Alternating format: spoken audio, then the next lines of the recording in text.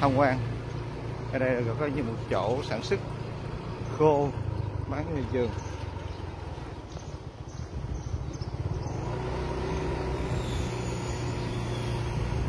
À, chào à, các bạn, hôm nay mình à, tham quan dùng à, làm khô.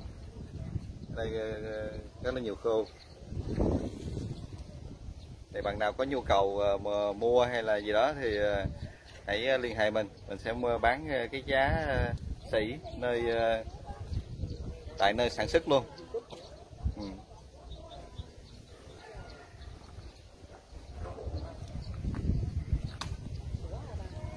đây đây là nhiều. Hả?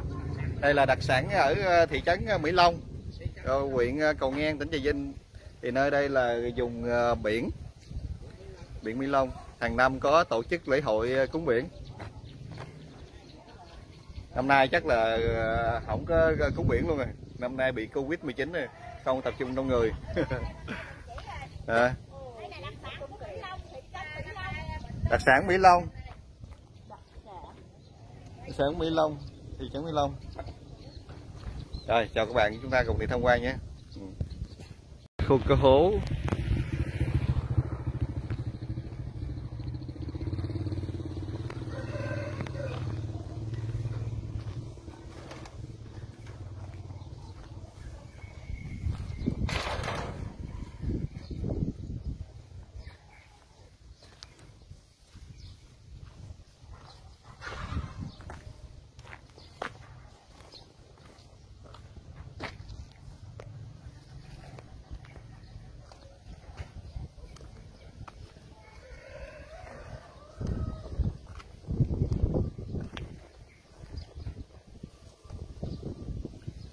Khô cá lù đù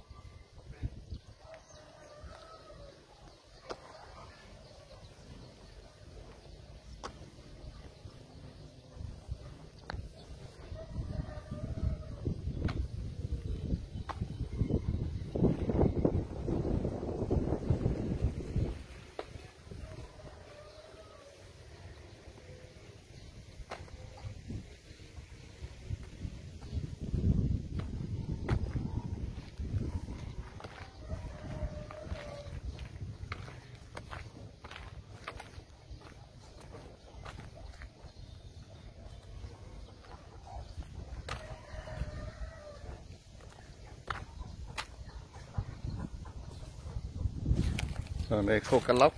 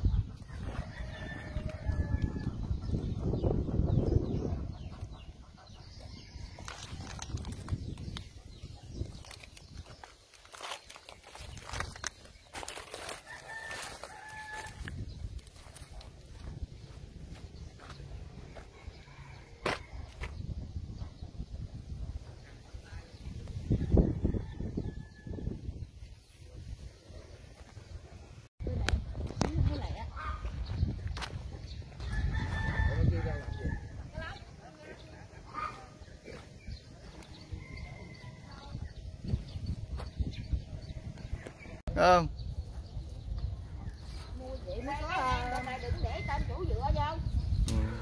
Ta biết người ta xuống tận gốc người ta mua mình có rồi và nó độc quá Chạy mà chị mấy con chứ chị kịch đó ở khô này có quá chất không? Không không? Tìm à, hàng à, sạch đấy hàng không quá chất luôn. Rồi, rồi không có chất hàng không có chất nha các bạn.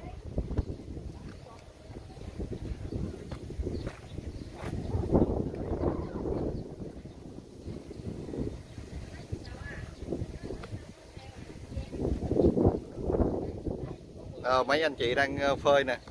Rất là cực khổ nắng thôi. À, mua nhiều nhiều để ủng hộ các anh chị nha.